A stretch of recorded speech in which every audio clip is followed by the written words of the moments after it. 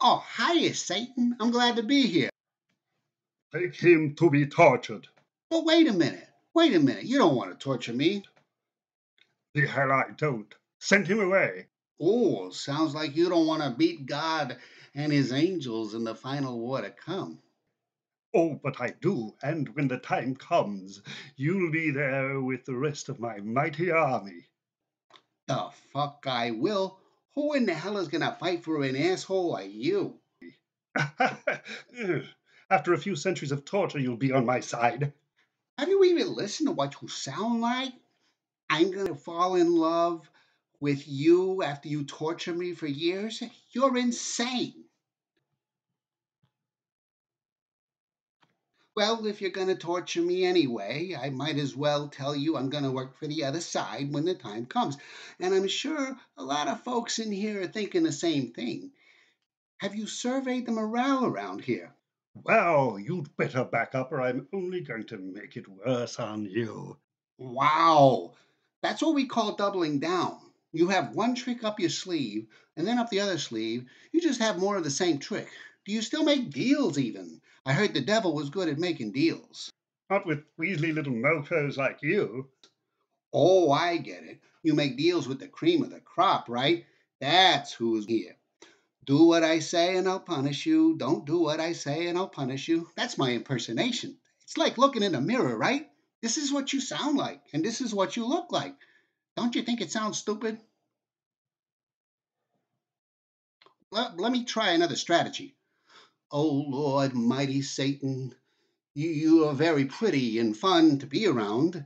Oh, that I were good enough or bad enough to deserve being around you, uh, to let you let me clean your feet and lick your shoes and that kind of thing. I worship thee, I worship thee, I worship thee. But I have some pointers for you if you're willing to hear them out.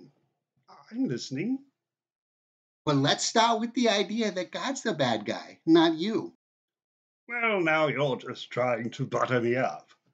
Hear me out, hear me out. Who was it that made you? What?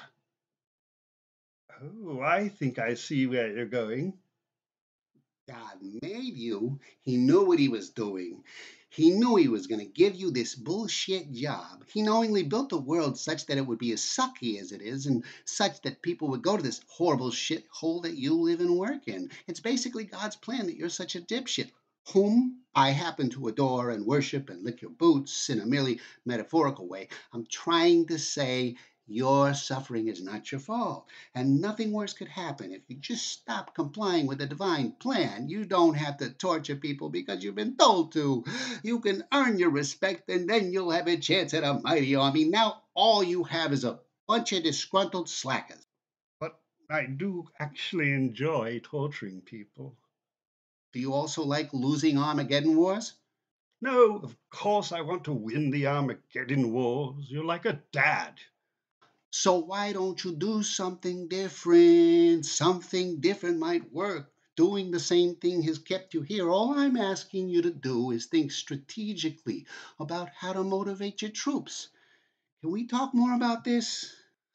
Well, this is all new to me. You are speaking my language, but I need time. It's just so different. I'm overwhelmed, frankly. You understand, it's it's just so new. Hey, listen, I understand. I fully expected to be sent into the lake of fire right away. I only hope that you'll think about it. Take him away, guys. Oh, and Weasel, I'll call you. That's a promise. Great. For now, just remember these three words War on Christmas.